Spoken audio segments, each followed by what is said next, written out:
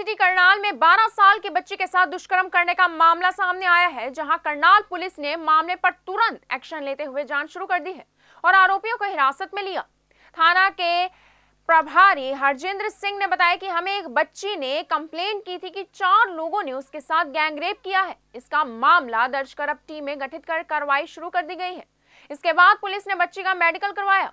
Police द्वारा तुरंत कार्रवाई करते चारों आरोपियों को हिरासत में लिया गया है और आगे की जाँच शुरू कर दी गई है। वहीं हैदराबाद व उन्नाव के बाद अब हरियाणा के करनाल में 12 साल की लड़की के साथ गैंगरेप होने का मामला सामने आया है।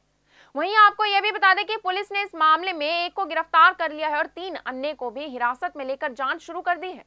पुलिस हर पहलू पर मामले की छानबीन में लगी हुई है। पुलिस का कहना है कि जाँच पड़ताल के बाद आरोपी के खिलाफ सख्त से सख्त कार्रवाई की जाएगी। मामला सामने आया, बच्चे कल रात एक मामला हमारे संज्ञान में आया था। एक बच्ची ने कंप्लेंट की थी, जो कि करीब 12 साल की बच्ची है, कि उसके साथ तीन से चार लड़कों ने उसका रेप किया, गलत कार्य किया है, जो कि रात ही उसकी कंप्लेंट पर मुकदमा दर्ज कर लिया गया और उच्चारण अफसरों की संज्ञान में मामला लाकर उसी टाइम लड़की का मेडिकल करवाया गया। उसकी स्टेटमेंट करवाई गई 164 और सी डब्ल्यू पे स्टेटमेंट जो बयान दर्ज होते हैं चाइल्ड वेलफेयर पे, वो बयान दर्ज करवाए गए। और जिन चारों आरोपियों का नाम लड़की द्वारा लिया गया था, बच्ची द्वारा, उन चारों को पुलिस द्वारा डिटेन कर लिया गया है। उनसे भी पूछताछ जारी है। अभी हम भी पूछताछ करेंगे, उच्च अफसरान द्वारा भी पूछताछ करवाई जाएगी और जैसे होगा उन्हें अरेस्ट किया जाएगा और पेश किया जाएगा।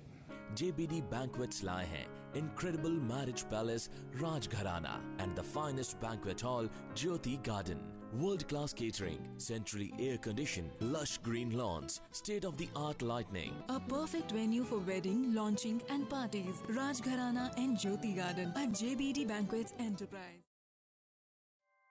ऐसे ही लेटेस्ट खबरें पाने के लिए बेल आइकन को क्लिक कर हमारे चैनल को लाइक शेयर एंड सब्सक्राइब करें धन्यवाद